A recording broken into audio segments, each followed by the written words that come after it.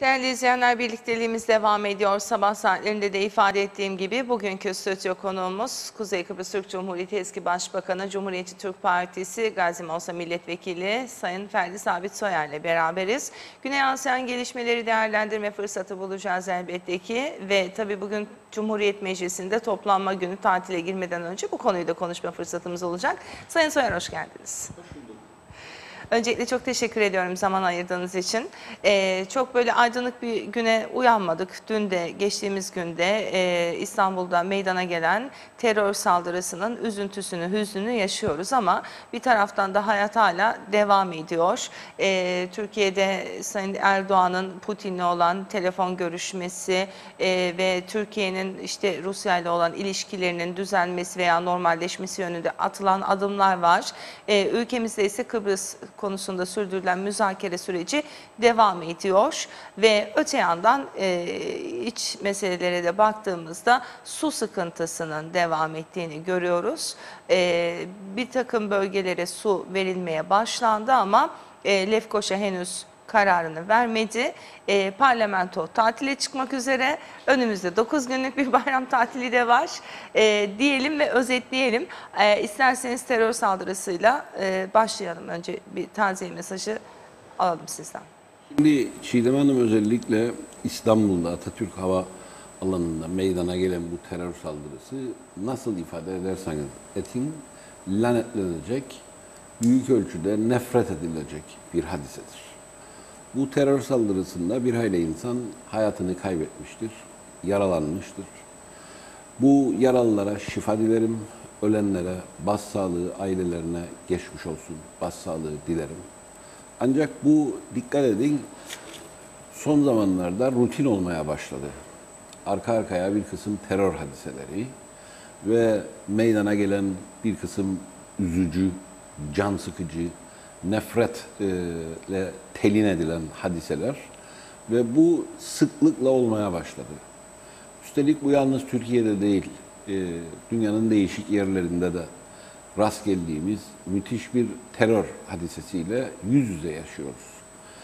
Bu tabii bir anlamda çok değişik yorumlanması gereken, hem ulusal ölçekte hem uluslararası ölçekte değerlendirilmesi gereken pek çok hadiseyi e, kendi içinde taşımaktadır. Bunun için bu terör ve teröre e, fiilen katılan örgütlere karşı e, mücadele etmek, devlet güçlerinin bunların hareketlerini, diğer bütün eylem e, noktalarını caydırıcı faktörlerle e, tedbir olarak alması gerekli ve elzem bir şeydir. Ama bunun ötesinde teröre kaynaklık eden sosyolojik, siyasal, ideolojik, düşünsel ve ekonomik boyutuyla da bu konunun irdelenmesi gerekiyor.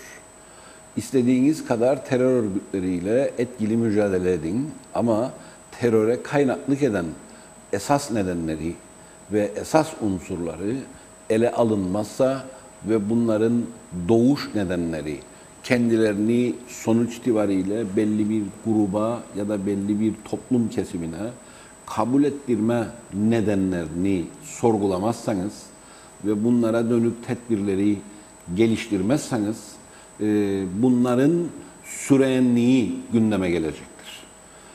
Son zamanlarda çeşitli konuşmalar dinliyorum, çeşitli yazılar okuyorum ve üzülüyorum. Yani sanki bu teröre alışmamız gerektiğine dair bir e, izlenim doğuyor. Hayır, bu alışılabilecek bir hadise değildir. Dolayısıyla buna karşı polisiye, askeri, güvenlik tedbirleri elbette olması lazımdır. Ve bunlardan hiçbir taviz verilmemesi lazımdır. Ancak bunu doğuran nedenleri ve bunun yaygınlık almasını sağlayan ve belli bir de toplumsal destek bulmaya dönük olan bütün unsurlarını da irdelemek ve her açıdan e, bakmak gerekir kanısındayım. Elbette burada e, günümüz dünyasında bir kısım bilinen kavramlarla olayları tanımlamak artık e, yeterli olmuyor. Bilinen ve bilindik e, siyasi yaklaşımlarla e, veyahut düşünce biçimleriyle olayları yorumlamak yeterli olmuyor artık. Örneğin İngiltere'de İngiltere'den ayrılmayı öngören yaklaşımı, işte Avrupa Birliği'nden ayrılmayı öngören yaklaşıma oy veren toplumsal kesimlere baktığınızda bunların bir kısmının bilinen kavramlarla yaklaştığınızda normalde ayrılmamaya oy vermesi gerekiyor. Yine aynı şekilde Amerika Birleşik Devletleri'nde Trump'a oy atanların ya da destek beyan edecek olanların normalde Trump'a oy atmaması, şimdi Sayın Clinton'a oy atacağını ifade edenlerin bir kısmının da doğallığında Sayın Clinton'u desteklememesi gerekiyor. Ama öyle bir alt üst oluşluk var ki bilinen kavramların ötesinde dünyada günümüz şartlarında yeni duruşlar oluşmaktadır. Bu bilinen kavramlarla hareket etmek zor ama işin özü şurası. e, Çok eski ve hala daha geçerliliğini sürdüren bir kısım kavramlar var. Adalet gibi, demokrasi gibi, özgürlük gibi.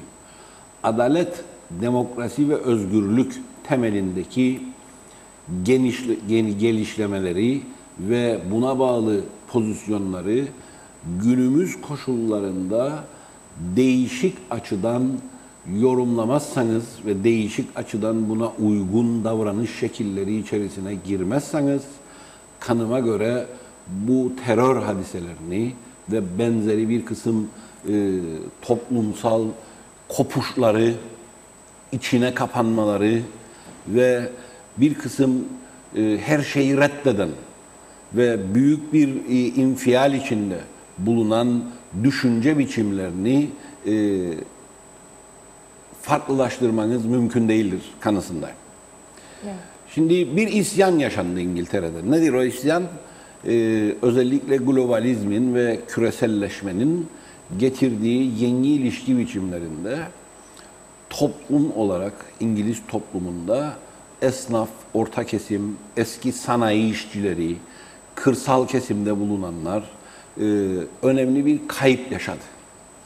Uygulanan 2008'den sonra ekonomik modelle kamudan kesilen kaynaklarla krizi kurtarma e, çabası bir kısım yeni zenginler veyahut da eski zenginlerin kendini daha da geliştirmesini sağlanırken en geniş kitlelerde büyük bir kayba yol açtı.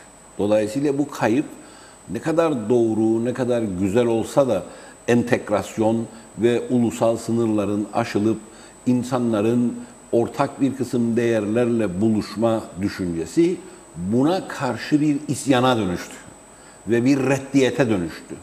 Ve sonuçta bu reddiyet neyi getirdi?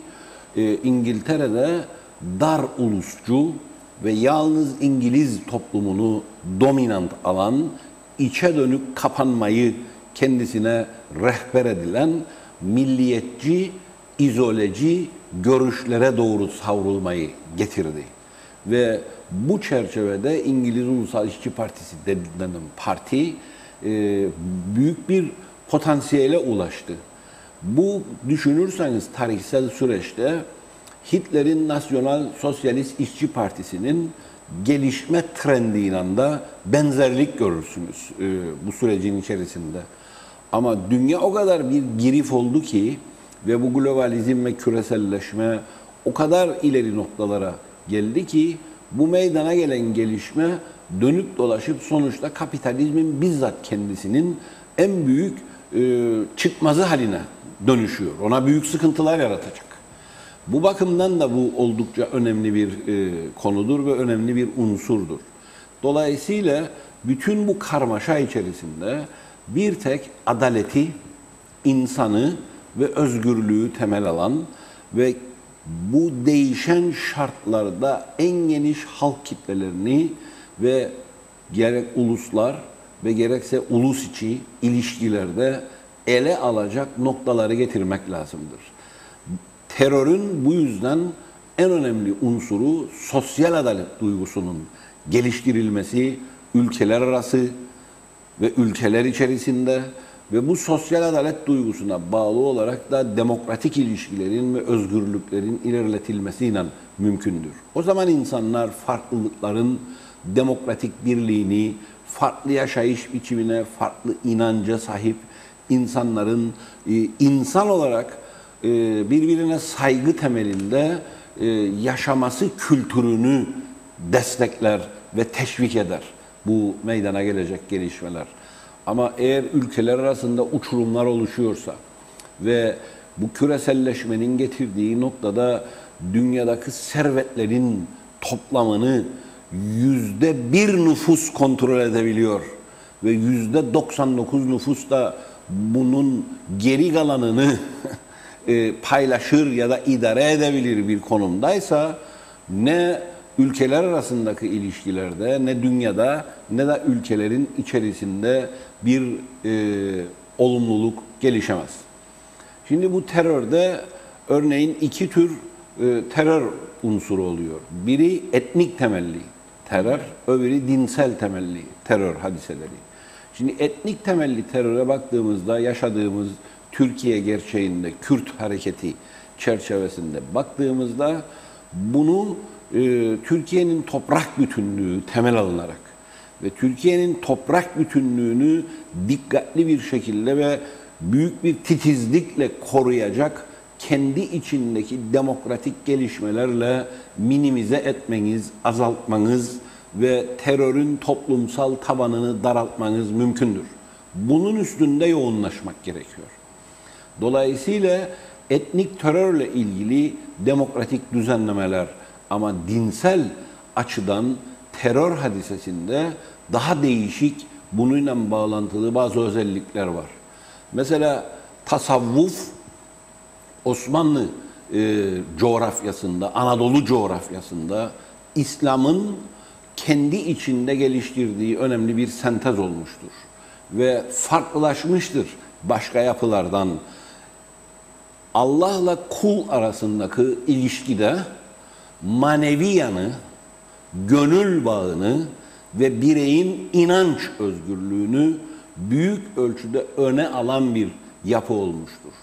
Bu yalnızca e, İslam'ın kendi içindeki yapısı değil ama İslam'ın diğer İslam olmayan dinlerle de bağını daha yumuşak bir şekilde götüren bir özelliğe getirilmiştir. Cemaat ilişkileri, tarikat ilişkileri, tekke ilişkileri insani temelde farklı sorunları yok mu onların da? Var ama daha farklı. Ne zaman ki işler değişti ve farklılaştı ve dini inancıyla beraber kapitalist ilişki meşrulaştırılmaya başlandı ve diniyle beraber işte Suudi Arabistan'da kralların, şehlerin petrol zenginliği üstüne oturması ve bunun yarattığı yaşam biçimi ve şekillenişin gelişmesi, başka İslam ülkelerinde devleti yönetenlerin e, en büyük İslamcı olarak büyük bir diktatörlükle ülke kaynaklarını kendi kesimlerine doğru çekmeleri veya manevi yanına bağlantılı hadiselerle birlikte e, dini inançları da kullanarak örneğin Türkiye'de ya da başka ülkelerde aşırı zenginleşen ve gittikçe ülkede e, ekonomiye ve siyasete siyasal İslam'ın şemsiyesi altında el koyma hadiseleri gelişmeye başladı. O zaman dinin o manevi bağında bir boşluk oluştu. Bu boşluğu ne doldurur? Bu boşluğu Selefi inancına bağlı, radikal ve büyük ölçüde dinle e, kendini bir anlamda saf Müslüman olarak ilan edip bütün bu ilişkilerden e, yoksulluğun da arttığı bütün kesimlerde nefret duygusuyla dolu ve bunu değiştirmek için teröre, silaha ve şiddete başvurma kültürü beslendi. Bu bir ideolojik formasyondur. Bu işit hareketini çeşitli vesilelerle dinledim ve çeşitli yazılarını da okudum. Bir kısım siyasi liderlikler İslami açıdan şöyle değerlendirdi. Şiilere ya da Sunni e, inancına sahip olanlara yapılan dış dışlanmaya öfke duyan gençler diye yorumladılar bunları. Hayır böyle bir şey değildir bu. Bu ideolojik bir formasyondu ve kökeninde benim dediğim de yatır aynı zamanda. Devleti ve ekonomiyi siyasal İslam adına İslam inancını da kullanarak e, gasp eden bir kısım despotlar veya ki Arap memleketlerinde bunlar çok yaşanmıştır ve sürekli din kisvesi altında İslam kisvesine bürünerek bunu meşrulaştırmaya çalışan despotlar veya siyasal İslam'ı kullanarak kapitalist ilişkilerde zenginleşen, gittikçe gelişen e, kesimler oluşunca bu hareketler kendilerine ideolojik güçlü zeminler buldular. Ve bu güçlü zeminlere karşı mücadele de yapılmadı. Ve Selefi e, görüşüne dönük olarak e, bir kısım e, düşünsel motivasyonlar da yerine getirilmedi. Dolayısıyla doğan boşluk bu çerçevede oldu. Öyle bir çağda yaşıyoruz ki Müslüman Müslümanı Allahu Ekber çekerek öldürüyor. Müslüman Müslümanı öldürüyor. Peki bunu sağlayan faktör nedir?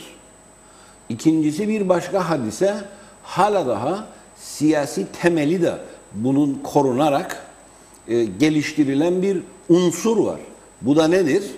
E, Şiilere karşı husumet ve Şii-Sunni e, rekabeti. Bunun gerisine de bakarsanız siyaseten İran'ın e, devlet olarak varlığına ve onunla rekabete dayalı bir unsurdur bu.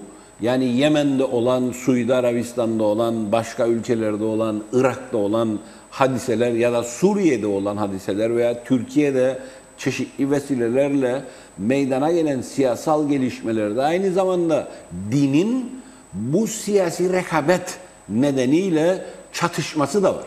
Ve bu öyle bir çatışmadır zamanında ki İran'la Irak 8 sene süren vahşi bir savaşa bile girdiler birbirleriyle. Ve yüz binlerce insan öldü. Müslüman Müslümanı gene o zaman Allahu Ekber diyerek öldürdü. Böyle bir yapı artık sorgulanmalıdır. Bu sorgulamanın temelini aşabilmenin yolu da sosyal adalet, demokrasi ve özgürlük temelli gelişmelere e, yol açmaktır. İstediğiniz kadar radikalleşin, istediğiniz kadar diktatörleşin, istediğiniz kadar otor, otoriterleşin, istediğiniz kadar güvenlik tedbiri alın. Bütün bunların elbette güvenlik tedbirlerinin önemi mühimdir. Ama bu yanı ele almazsanız bunu gideremezsiniz. Dolayısıyla bütün bu bütünlük içerisinde bu meseleleri konuşmak ve tartışmak gerekiyor. Şu anda bunun için epey uzun süreli siyasal, düşünsel, ideolojik, ekonomik, politik bir aile tedbirler gerekir. Kısa vadede güvenlik tedbirleri önemlidir. Ve bununla birlikte aynı zamanda mesela Türkiye özelinde söylemek gerekirse toplumun farklı kesimlerinin, iktidarının, muhalefetinin, iş dünyasının, emek dünyasının, basın ve medya dünyasının demokratik bir sentezde buluşması gerekiyor. Bunun kaçınılmaz bir noktası vardır.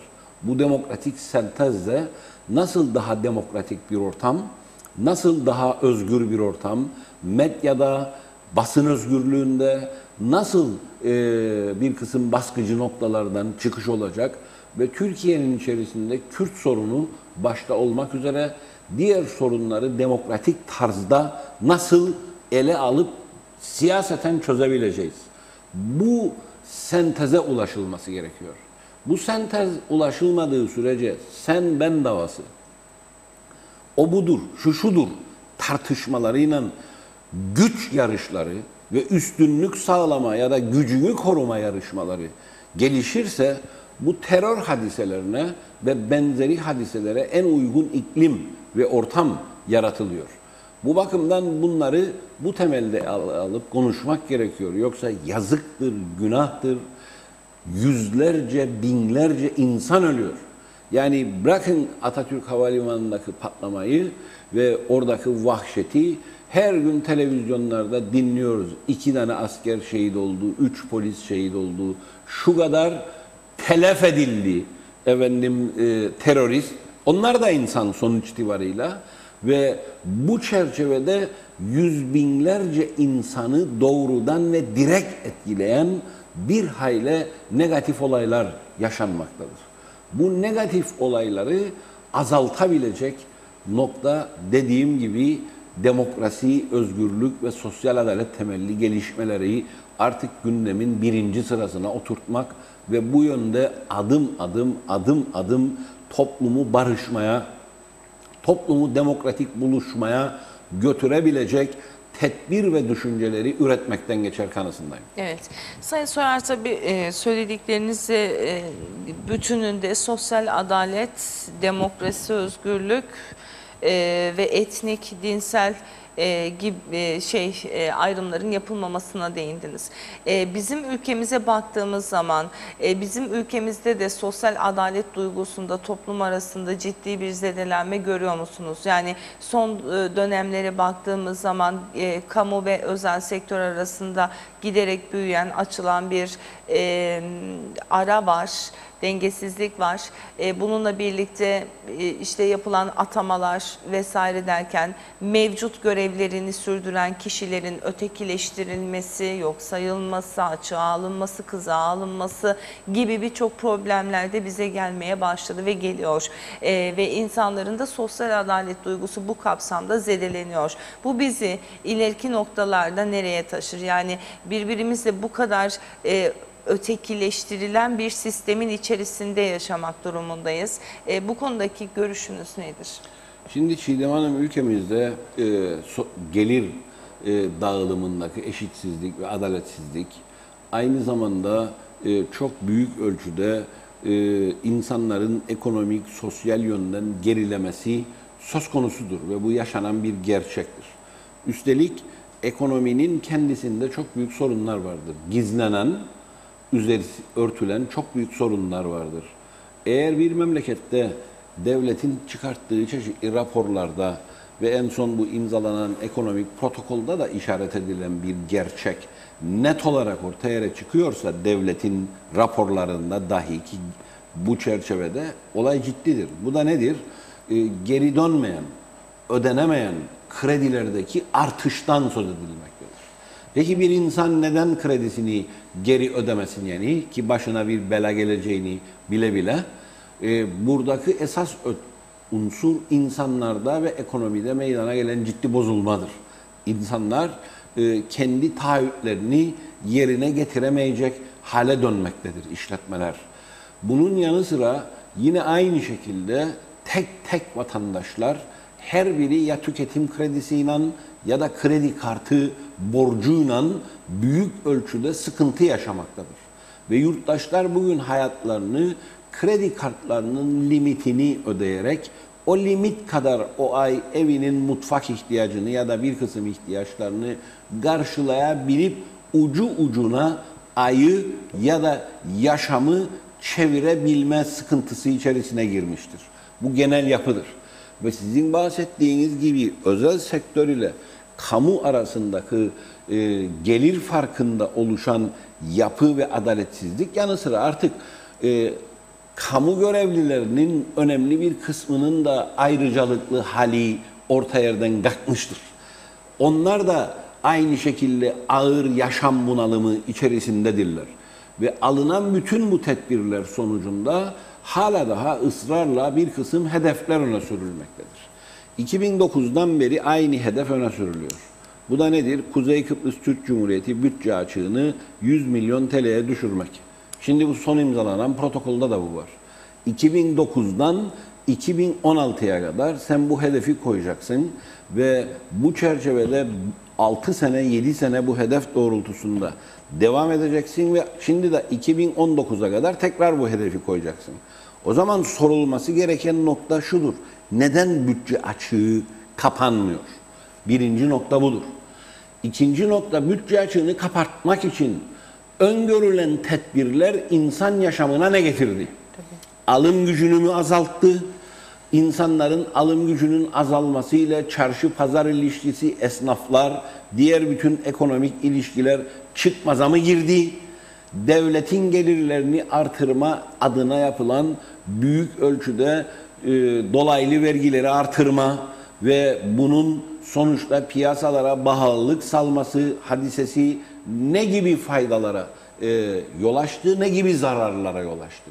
Bütün bunları detaylı irdelemeden aynı temelde, aynı mantıkla yola devam etmenin aynı sorunları misliyle size yaşatmaktan başka bir çıkış yolu yoktur. Üstelik bu da samimiyet denen bir de hadise olması lazım. Yani bazen gazetecisiniz, gazetelerde okuruz. Kimliğimi kaybettim, yenisini alacağımdan eskisi hükümsüzdür diye ilanlar. Şimdi biz saygıyı kaybettik, vicdanı kaybettik, adaleti kaybettik ve gazeteye de ilan vermeden eskisi hükümsüzdür diye beyanda bulunuyoruz.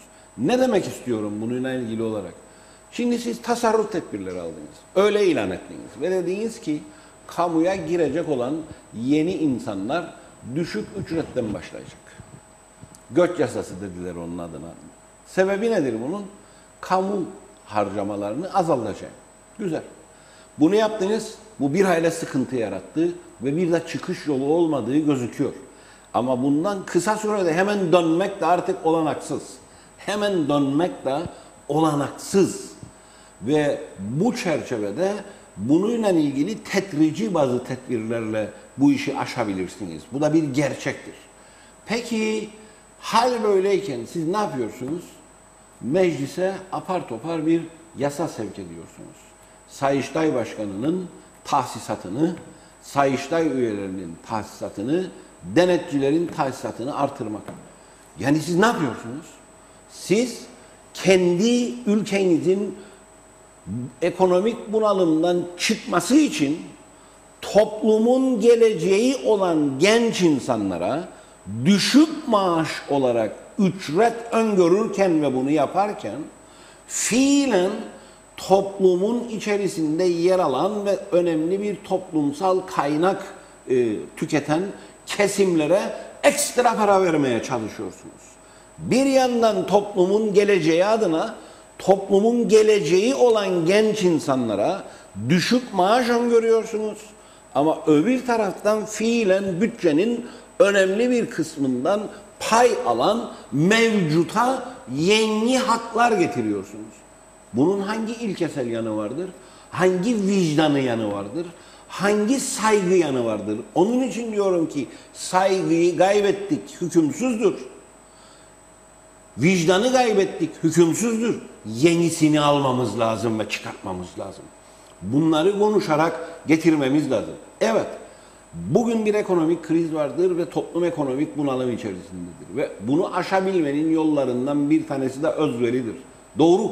Ama toplumsal özveri yoksa ve toplumsal bir adalet duygusuyla beraber vicdanlarda karşılığını bulacak bir düzenleme olmazsa bu hem bahsettiğiniz gerginliklere bu yol açar, inançsızlıklara bu yol açar, sevgisizliklere bu yol açar, çatışmalara bu yol açar ve aldığınız bu tedbirlerle de çıkış yolu bulamazsınız. Aynı sorunlar katmerleşerek ve daha bir öfkeyle dolu olarak önümüze gelir.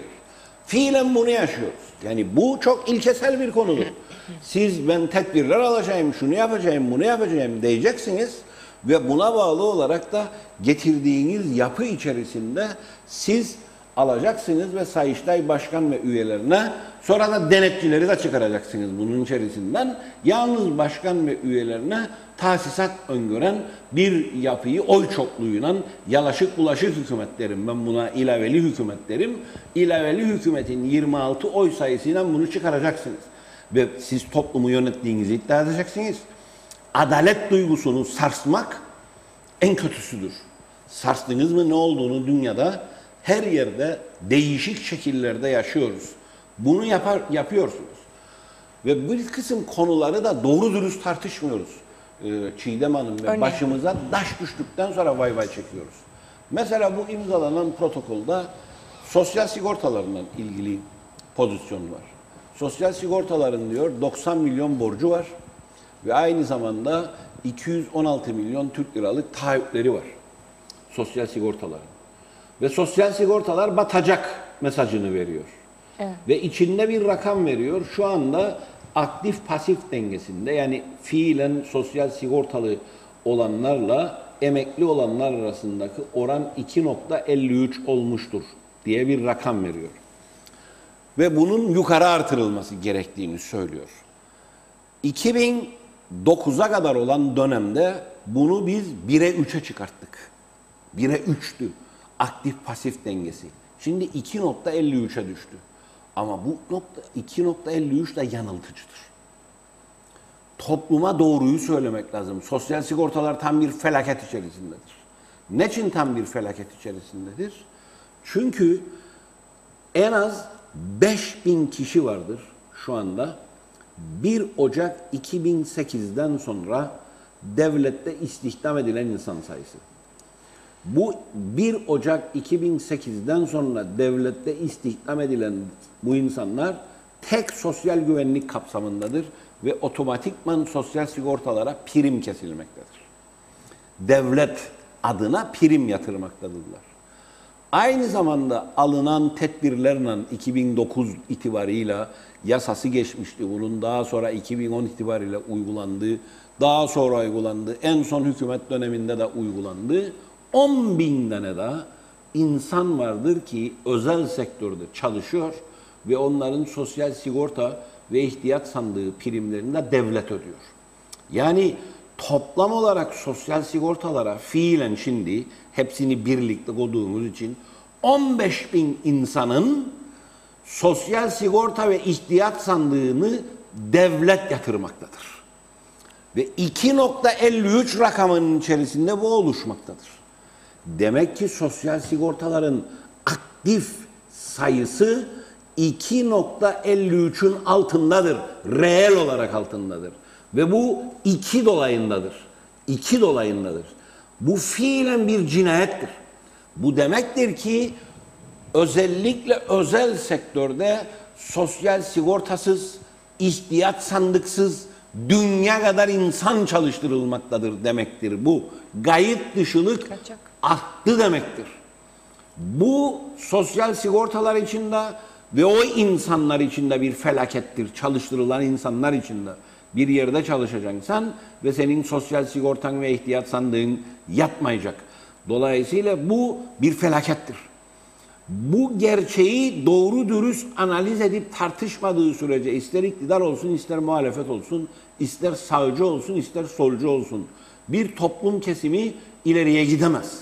Bu doğru tespiti orta yere koyduğunda koymazsa. Yani protokol imzalayacaksın ve protokolda yazacaksın 2.53'tür ama ben bileceğim ki 5000 kişinin ve 10 bin kişinin toplam 15 bin kişinin ayrı ayrı statülerde sosyal sigortasını ve ihtiyat sandığını son dönemlerde işe girenler açısından söylüyorum devlet ödüyor. Demek ki sosyal sigortalardaki aktif katılımda düşük vardır. Sen bunu gizleyerek nereye varacaksın? Bir yere varabilir miyim? Bu birinci yanı. İkinci yanı şudur. Giderek bu trend yayılmaktadır. İnsanların gerçek gelirleri üstünden sosyal sigortalara prim yatırmamaktadırlar. Önemli bir kesim. Yani gazetelerde çıkıyor efendime söyleyeyim vergi beyanları. İsmini biliyoruz. Küçük memleketleri tanıyoruz ve çeşitli şekillerde kendi şahsi gelir vergisinde sıfır gelir vergisi ödeyen şirket sahiplerini görüyoruz. Demek ki bu kişi kendi gelirini asgari ücretten beyan etmiştir. Ve asgari ücret üzerinden sosyal sigortasını yatırmaktadır. Ayıptır bu. Bu ayıptır. Ve çalışanlar açısından da bu bir felakettir. Şimdi çalışanlar biraz da nasıl bakıyor bu meseleye? Ya 100 lira, 100 lira, 150 lira, 150 lira benim karımdır. Öyle bakıyor. Çünkü hayat o kadar zor ki 100 lira bir çalışan insan için önemli bir e, yapıdır.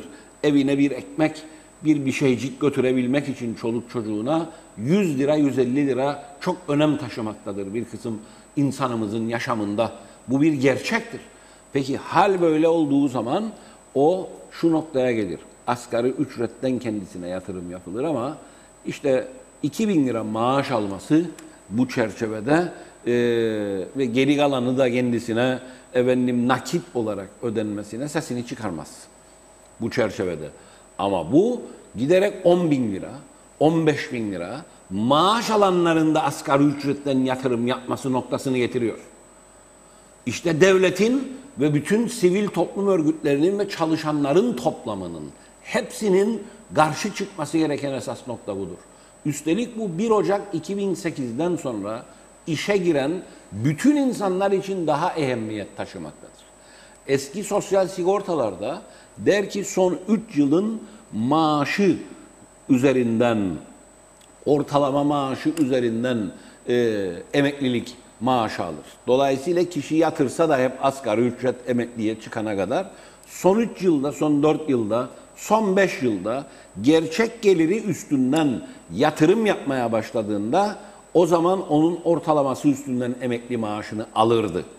Bir şey kaybetmemiş olurdu emekli maaşıyla itibariyle baktığınızda. Ama sosyal sigorta toplamda ve ülke toplamda o vatandaş da doğru dürüst sosyal sigorta ve sağlık hizmeti alamadığı için birey olarak kendisi de çok şey kaybeder. O ayrı bir konu.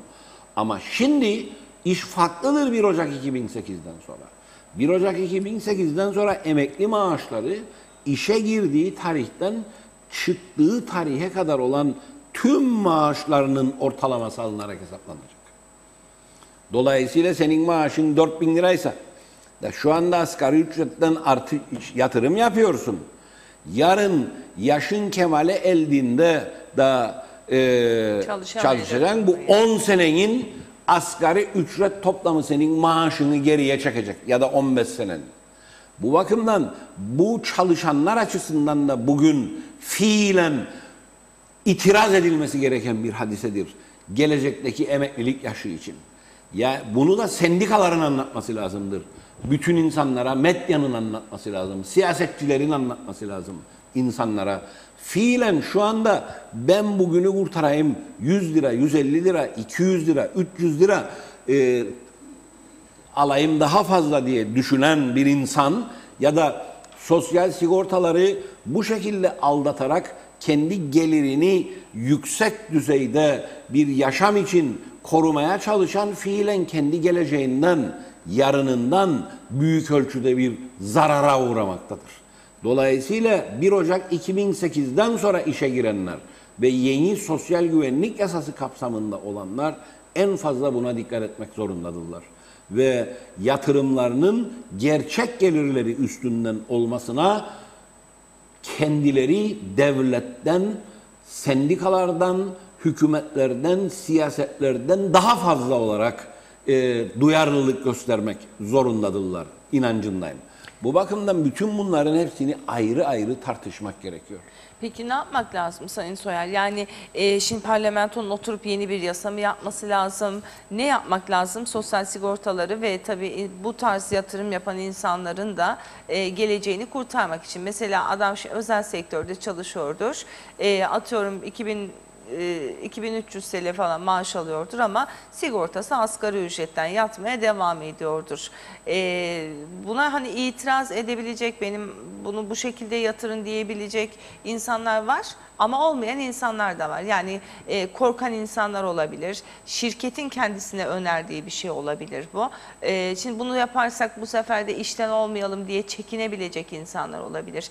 Bu kapsamda e, yaptırımı parlamentonun da yapması gerekmez mi? Yani Şimdi bir burada- irade ortaya konması lazım. İrade yalnız parlamento değil hükümetlerin efendim aynı zamanda Sosyal Sigortalar İdaresi'nin ve sivil toplumun da bu konuda yapması gereken pek çok iş vardır. Bu konuda birincisi yapılması gereken ülke ekonomisinin gayet altına alınmasıdır. Bütün işletmelerin tümünün ödemelerinin botro üstünden olması gerekiyor ve devletin otomasyon sistemiyle bunu düzenlemek gerekiyor. Aynı zamanda bir başka botro üzerinden yapıp bütün insanların maaş ve ücretlerinin resmi düzeyde devlet tarafından denetleneceği bir mekanizmanın geliştirilmesi gerekiyor. Bir başka unsur vergi oranlarını aşağıya çekmek gerekiyor. Biz şahsi gelir vergisi mesela kamu görevlilerine artış yaparken yüzde yedi artış yapacaksak kamu görevlilerine Diyorduk ki o zaman yüzde üç vergi muafiyetiyle bunu yapalım. Dolayısıyla özel sektördeki insanlar da yüzde üç vergi muafiyetiyle yani yüzde yedinin yüzde üçü vergi muafiyetinden olsun. Ve yüzde yedinin yüzde üçü vergi muafiyetinden olduğunda aynı şekilde yüzde dörde yakın nispette de özel sektördeki insanlar işveren ekstra bir katkı yapmadan kendisine gelirinde bir artış alıyordu vergi muafiyetiyle. Ve bundan ötürü şahsi gelir vergilerini yüzde 37'ye kadar düşürmüştük. Yüzde 43'lerden. Şimdi bu 2009'dan sonra tekrar yükseltildi. Şahsi gelir vergi muafiyetleri. Bu da kaçışın bir başka e, gerekçesidir ve nedenidir. Dolayısıyla devlet süratle şahsi gelir vergilerinde maaşlı ve botrolu kesimler için maaşlı ve botrolu kesimler için vergi muafiyet oranlarını aşağıya indirmelidir. Yani azaltmalıdır vergi e, oranını, kesim oranını ve bunu yüzde otuzlara kadar düşürmelidir. Ki böylece insanlar e, vergiden e, bir anlamda imtina edecek bir şekilde gelirlerini net olarak beyan edebilme e, pozisyonuna da ulaşabilsinler. Devletin yapması gereken budur. Biz bunu yaptık zamanında ve kaldırıldı. Nere faydası oldu bunun? Dediğim gibi vergi kaçağına faydası oldu. Aynı zamanda gayet dışılığı teşvik etti bu. Dolayısıyla burada ödemelerin botro üstünden yapılması ve botro üstünden yapılan ödemelerin netlik kazanması, ikincisi gelir vergisi şahsi muafiyet oranlarının aşağıya gelir vergisi oranlarının aşağıya çekilmesi ve bu şekliyle e, insanların vergi kılıncından bireysel olarak azade tutulması. Şimdi bu devletin gelirini de azaltmasa, devletin gelirini artırır. Neçin? Çünkü bu oranlar yüksek olduğu için asgari ücretten ödeme e, pozisyonu daha bir meşruluk kazanır. Bundan hem sosyal sigorta kaybeder hem devlet gelir vergisi kaybeder. Makul bir düzeye bunu çektiğin zaman hem sosyal sigorta kazanır hem devlet kazanır hem de vatandaş gönüllü olarak kendi ücretiyle beraber bu çerçevede daha iyi bir şekilde yaşayabilme fırsatı, daha legal bir şekilde yaşayabilme fırsatı yapar. Aklında devleti sosyal sigortalar ki kendi geleceğidir. Devleti vergiden e, aldatarak geçinme hadisesi olan insan yeni bir şey üretilmesinde dinamik bir katkı sağlayamaz Çiğdem Hanım. Dinamik katkı sağlayabilmesi için bir insanın kurallarla yaşar bir hale gelmesi lazım. Ve bu kurallarla yaşayan insan bu bana yetmiyor kardeşim deyip bu kuralları genişletmek için o zaman daha etkin mücadele yoluna girer. Şimdi ben devleti sosyal sigortaları aldatarak 100 lirayı, 200 lirayı, 300 lirayı, 500 lirayı kurtarıyorum kültürüyle olan insan hakkının genişlemesi için kurallı mücadeleye inanmaz zaten. Kurallı mücadeleden kaçar zaten. Ve bütün hadise de burada bir başka bozulmaya sebebiyet verir. Onun için kurallı yaşamı yerine oturttuğumuz sürece demokratik zenginliği ve demokratik dinamiği artırırsınız. İnsanların mücadele perspektiflerinde ve geleceğe bakışlarında. Bu bakımdan da bu önem taşır. Bunun görünür bir yapı yoktur. Ölçebileceğiniz bir yapısı yoktur ama manevi ve kültürel ve demokratik zenginlik bakımından getireceği büyük bir potansiyeli vardır. Büyük bir özelliği vardır. Yani sonuç itibariyle birinin kendisine sunduğu bir lütufla, küçük bir lütufla, işvereninin kendine sağladığı bir imkanla ya da kendisiyle beraber işvereninin devleti aldatmasından kaynaklanan bir müşterek e, aldatıcılık ruhu içerisinde bulunmakla bir miktar para elde eder içinde olmak o insanı kesinlikle ve insanların toplamını bir demokratik mücadele ve bu demokratik mücadeleyle daha ileriye doğru gidebilme kültüründen de uzaklaştırır. Ve sonuçta insanlar nereye, hangi kültüre döner? E, kendinin bildiği, işvereninin bildiği bir hileyle ortalığı, yaşamı idame ettirme kültürü sonuçta neyi besler? Gemisini kurtaran kaptan kültürünü besler. Bu da sizin toplumsallığınızı, bu da sizin dinamik bir toplum yapısı içinde olmanızın en büyük zehiridir. En büyük handikapıdır, en büyük problemidir. Tekelleşme aynı zamanda. Evet. Şeyi sormak istiyorum. Yani biz e, siz bunları ifade ediyorsunuz biliyorsunuz vergiler işte burası küçük toplum dediniz. Ee, adam nasıl e, sıfır olarak gösterir diyebiliyoruz mesela. Peki bunu Sosyal Sigortalar Dairesi, müfettişler, müdürler şunlar buna birileri görmüyor mu? Yani Görüyor ama e, yapacak neyi var? Hangi argümanı var? Mesela şu anda en temel nokta nedir? Bu meclisten meclisin gündemindeydi. Maalesef hala daha çıkamıyor. Mesela yeminli muhasipler var. Bunlarla ilgili yasal düzenlemeleri getirmemiz lazımdır. Evet. Ve bu beyanlarla ilgili ve diğer başka unsurlarla ilgili bu yalan beyanları imzalayanların da mesuliyetlerini ve cezai düzenlemelerini artıracak tedbirler ve diğer denetim mekanizmaları ve en önemlisi İ-Devlet'tir.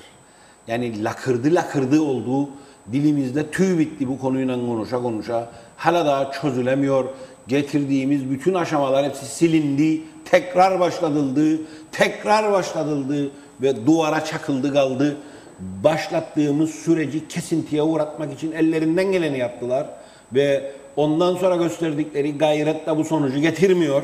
Çünkü bir işin devamlılığıdır önemli olan. Şahıslar değişebilir.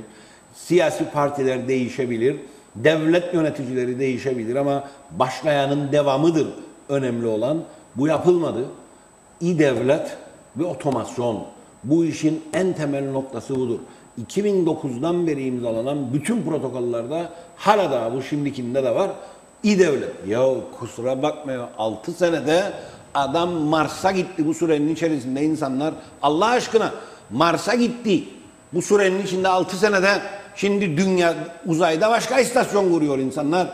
Da biz İ-Devlet konusunda hala da yapacak, edecek bilmem ne diye konuşuruk bu çağda. Yani bu lakırdı mı artık?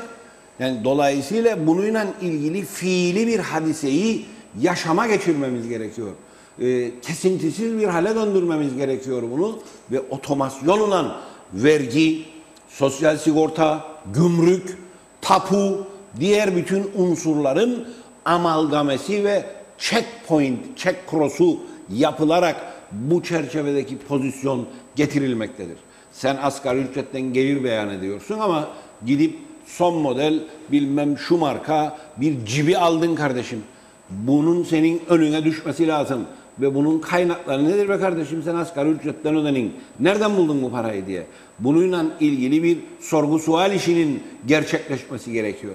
Bütün bunların hepsinin bu İ-Devlet olgusuyla da bağı var. Ama dediğim gibi ödemelerin botro üstünden yapılması, vergi oranlarının makul düzeyde düşürülmesi gerekiyor. Ki bundan hem devlet vergiye ulaşacak hem de kontrolünü artırabilecek. Daha cazip bir hale getirilecek. Zamanında veraset vergisini kaldırdık biz hükümet olarak. Yer yerinden oynadı bazı çevreler. Kıyametleri koparttı bazı çevreler. Ne demek bir insan ömür boyu işleyecek, sonra vefat edecek ve geride bıraktığı evlatları onun bıraktığı evin ya da bir işin ekstra dönüm üstünden haspa kadar vergisini verecek devlete. Zaten o adam bir ömür boyu çalıştı ve verdi ve bununla ilgili kurumsallaşmanın önünü de geçecek. Biri vefat edecek, onun hisselerinin şirketindeki devri için şirketin sermayesinden fazla vergi çıkacak insanlara. Yapmaz insanlar bunu o zaman. Dolayısıyla bütün bunların hepsini değiştirdik ama yetmedi ömrümüz arkasından da kurumlar vergisini düşürdük. Arttı o dönem kurumlar vergisi toplamı. Diğer başka unsurlar bu gelir vergisi, şahsi gelir vergisi oranlarını düşürdük. Bunları daha bütünlüklü bir şekilde ele almak gerekiyor. Ve bu düzenlemeleri topyekün yapmak lazım. En son Zeren Bey'in Maliye Bakanı olduğu dönemde vergi usul yasası meclise geldi. Yeni bir yasa. Arkasından 3-4 yasa daha var. Vergi usul yasası geçti. diğer yasaların da geçmesi gerekiyor. Ve bununla ilgili bir gayret içerisinde olmamız lazım. Bir bütünlükle bunu götürmemiz lazım. Bunlar olmadığı takdirde ve bunları tartışmadığımız takdirde olamaz. Ama sen dersen ki ben tasarruf tedbirleri alacağım ve toplumun geleceğini kurtarmak için toplumun geleceği olan gençlere ben düşük ücretle devlete girmeyi öngöreceğim. Böyle bir kültüre sahip olacağım. Ama hala daha içinde olup önemli bir gelir kısmı olanlara da tahsisat yoluyla ekstra gelirler çıkaracağım diye bir mentalite içerisinde olursan kimse sana inanmaz. Attığın hiçbir adım öyle bazıları da büyük büyük iri laflar ederler. Devlet ciddiyeti, devlet ağırlığı, devlet adamlığı falan, devletin kuralları gibi böyle iri iri büyük büyük laflar ederler. E kardeşim senin bu yaptığın çok küçük bir hesap ya. Senin hangi iri lafına, büyük lafına insanlar itibar edecek de bir saygı duyacak da sana destek olacak. Hadise bu. Evet. Ee, vergi usul yasasını biz geçirdik. Diğer yasaların da süratle geçmesi lazım dediniz ama meclis süratle tatile gidiyor Sayın Ha, Soyer. bu. Üç aylık bir de tatil var. Bu konuyu nasıl Şimdi bu geçen sene oldu bu hikaye. Ee, biz meclis tatilini kısaltma her dönem böyle yapardık. Meclis tatilini kısaldırdık ve Eylül ayı içerisinde de meclisi toplantıya çağırdık. Normal açılışı 1 Ekim'dir meclisin. Böylece yasalar ve diğer çalışmalar da e, günle işte Ağustos ayı büyük ölçüde sıcak. Temmuz'un 15 Temmuz 20 Temmuz'dan sonra meclis kapanır. Ağustos ayı Eylül'ün 10'u 15'i itibariyle meclis açılır ve bu şekliyle de çalışmalar devam eder. Şimdi geçen sene yine bu planlamaya bağlı olarak bazı yasaları meclisten geçirmek için e, bir e, kısaltma yoluna girdik. Dönemin muhalefet partisi, ana muhalefet partisi başkanı Sayın Hasan Hüseyin Özgürgün gitti ve müracaat etti yüksek mahkemeye. Bu gayri kanuni bir hadisedir diye. Ve yüksek mahkememizde oturdu bir yorum yaptı. Ve dedi ki anayasamıza göre ve anayasal mevzuata göre meclis kesinlikle 1 Temmuz'da tatile girecek, 1 Ekim'de açılabilir ve bu dönemin içinde meclis olağan bir şekilde gündem görüşemez. Ancak münhasır bir yasayla ilgili olarak olağanüstü toplantıya çağrılabilir ve yalnız o yasayı görüşebilir. Ha. Dolayısıyla şu andan itibaren artık geçen seneden başlayarak bu senede 1 Temmuz kapıyı kapatacaksın, 1 Ekim kapıyı açacaksın. Bu yanlıştır. Kesinlikle yanlıştır. Burada yüksek mahkemeyi bu görüşe sevk eden ana düşüncelerden biri anayasanın yazım şeklidir. Bu anayasa çok söyledik. Değiştirilmesi gerekir. Büyük bir de gayret sarf ettik. Ama nasıl İngiltere'de başka başka nedenlerden doğan öfke bir isyana dönüştü ve Avrupa Birliği'nden ayrılma kararı çıktı insanlarda. Bizden de farklı farklı argümanlarla, kimisi siyasal argüman, kimisi yaşadığı toplumsal yaşadan, yaşamdan ötürü duyduğu sıkıntının verdiği tepkiyle anayasa değişiklik e, hadisesine hayır oyu kullandı ve bu referandumdan geçmedi. Dolayısıyla anayasamız bu 12 Eylül anayasası ki Türkiye'de bu şikayet edilmiş olmasına rağmen 7, 8, 10 defa, 20 defa değiştirildi ve hala daha değişmesi için çaba harcalıyor.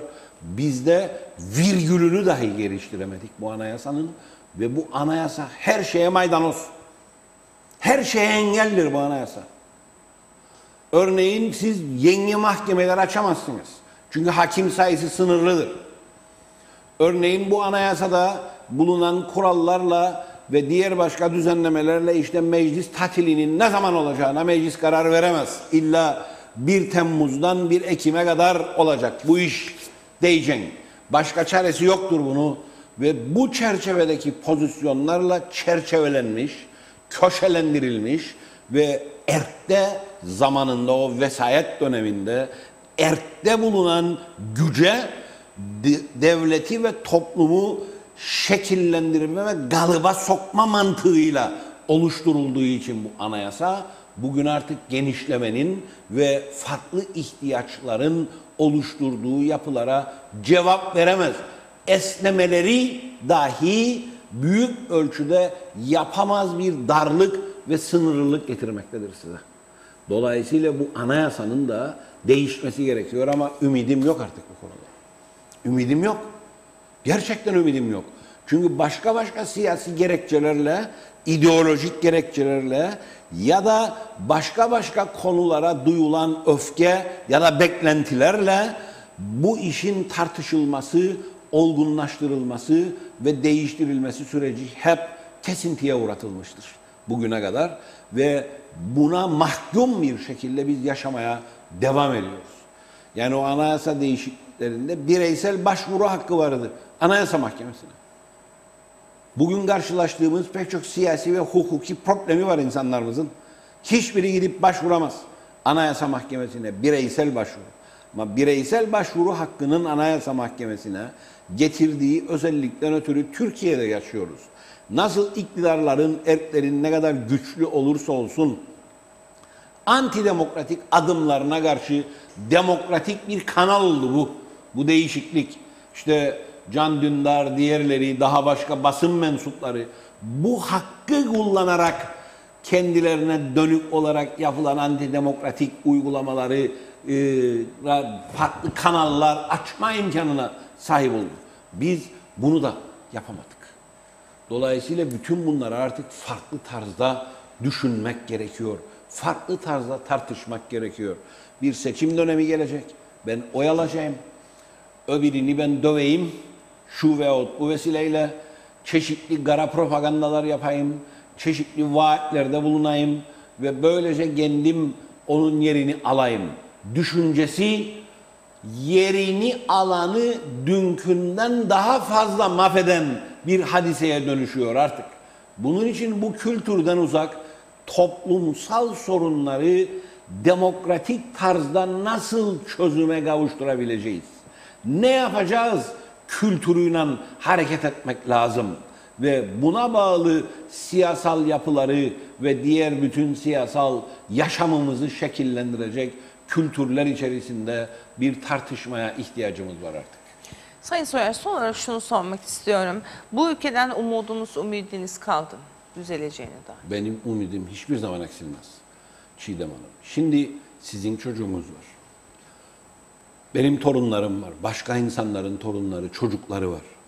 Yaşıyoruz bu memlekette ve her gün doğuşuyla birlikte yüzlerce, binlerce çocuk evinden çıkıp ilkokula gidiyor, ana mektebine gidiyor, ortaokula gidiyor, liseye gidiyor.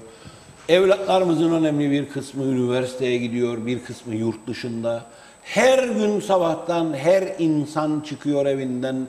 Kimisi işine gidiyor, kimisi dükkanına gidiyor, kimisi tarlasına gidiyor. Yani yaşama dair hadisede bir tutulma, bir gerçekleştirme var. Düşünün bugün gelirken bir haber okudum. Litvanya'da 2. Dünya Savaşı'nda Nazilerin esir kampında tutulan bir kısım insanların kaşıklarla kaşıklarla gazarak oluşturdukları bir tünel bulunmuş.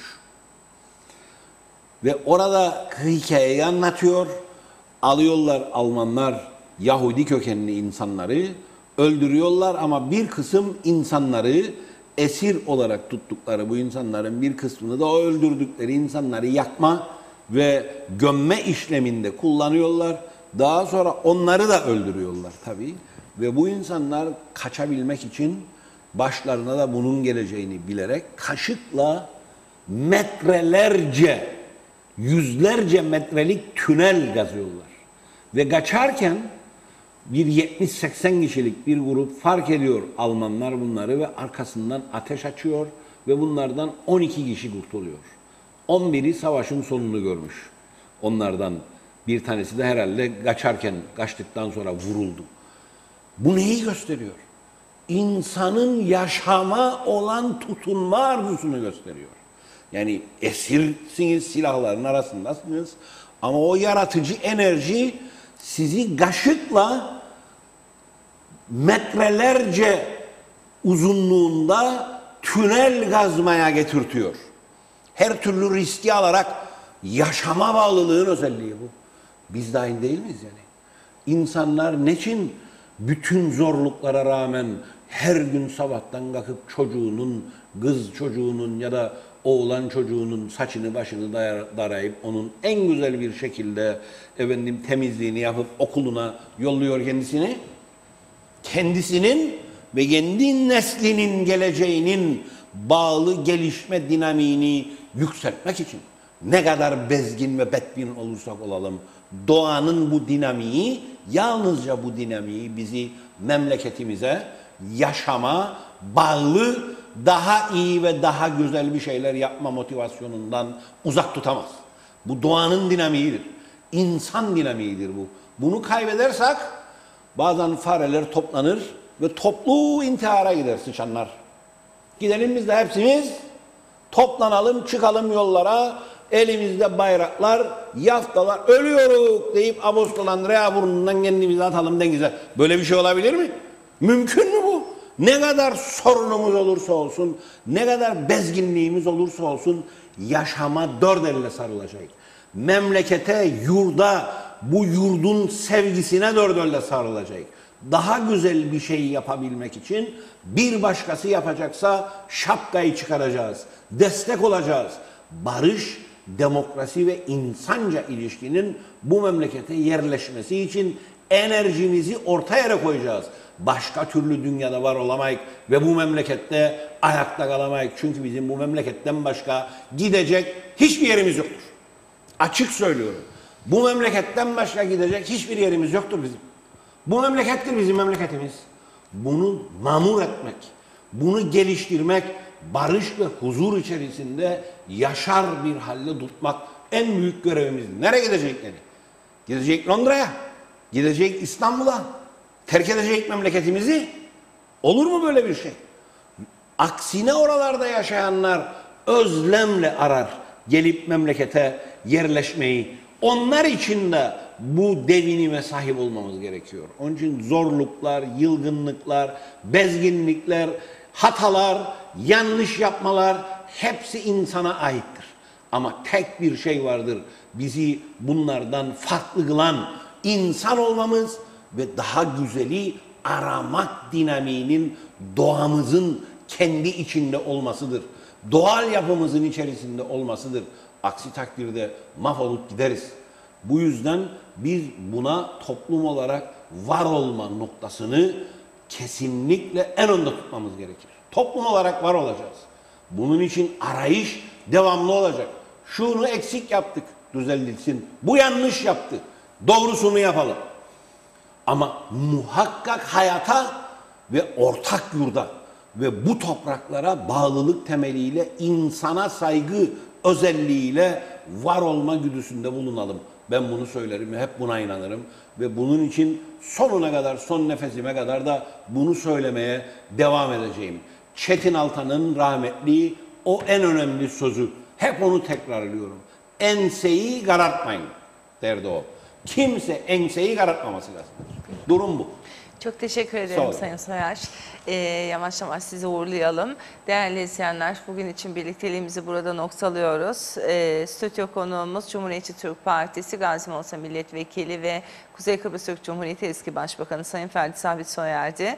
Ee, ülke gündemini e, ve dünyada yaşanan e, gelişmeleri ve krizleri değerlendirme fırsatı bulduk.